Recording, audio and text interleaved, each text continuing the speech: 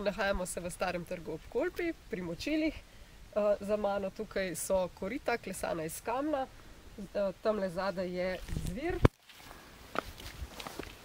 Ta škarpa je bila namenjena temu, da je zadrževala vodo in da se je scejala voda iz tiste luknje noter v to korito.